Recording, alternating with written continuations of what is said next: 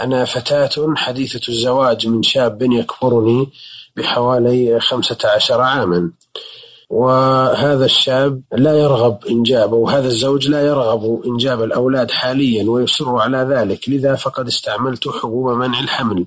ولكن عندما حصل حمل بإذن الله ذات مرة ومضى عليه فترة أصر زوجي المذكور على إسقاطه أو على إسقاط الحمل وأخذني إلى المستشفى. وتم إسقاط الجنين بالرغم من أني أشعر بالذنب من أن في ذلك إزهاق روح بغير ذنب.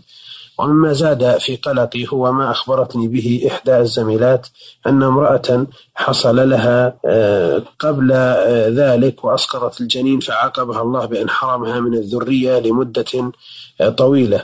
وبعد العناء جاءهم مولود مشوه وسقيم. وقالت لي الزميلة إنه ينبغي الرضا بما كتب الله من الحمل وعدم إسقاطه لأنه خير ونعمة من الله. وأن هناك الكثير ممن حرموا من الأولاد يتمنون الأولاد ولكنهم لم يجدوهم. سؤالي ما هو حكم عملي وزوجي بإسقاط الجنين بحجة أننا لا نريد الأولاد الآن لنتمتع بشبابنا كما يزعم زوجي البالغ من العمر ثمانيا وثلاثين سنة؟ أرجو الإيضاح والنصح. جزاكم الله خيرا.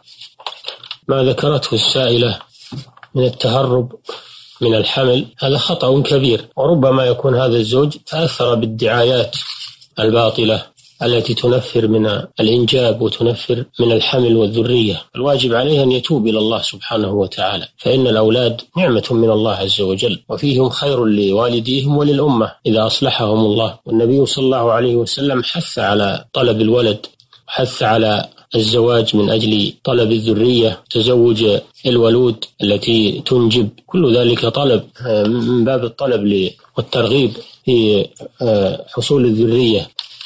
فما فعلتموه من أخذ الحبوب لتأخير الحمل هذا خطأ كبير.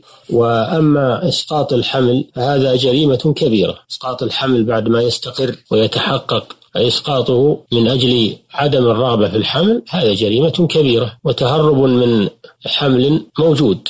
وهو أشد من تعاطي الحبوب في الأول من أجل منع الحمل أصلا وإن كان ذاك أيضا منهيا عنه ولا يجوز. لكن إسقاطه بعد ما استقر ووجد هذا أشد أشد إثما لأن الدافع هو عدم الرغبة في الولد. وليس الأمر من باب العلاج أو من باب كان له نظر آخر. لكن هذا كما ذكرت السائلة أنه عدم رغبة في الحمل. والإنسان لا يتصرف في نفسه وفي غيره إلا بإذن الشرع. وسؤال أهل العلم قبل أن يقدم على شيء فما فعلتموه؟ هذا يكون من باب الخطأ الكبير. وإذا كان هذا الحمل قد تم له أربعة أشهر ونفخت فيه الروح وأسقطتموه بعد ذلك فإن هذا يعتبر من الجناية على الجنين وهذا يوجب يوجب الدية وهي آه، الغرة التي أوجبها النبي صلى الله عليه وسلم وهي عشر دية أمه عشر دية أمه.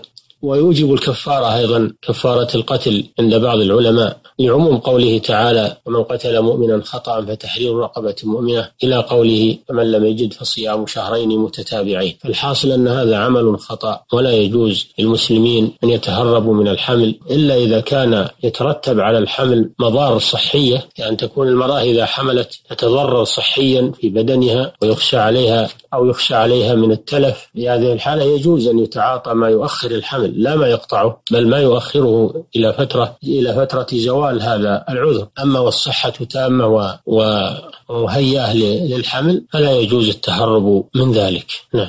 أثابكم الله.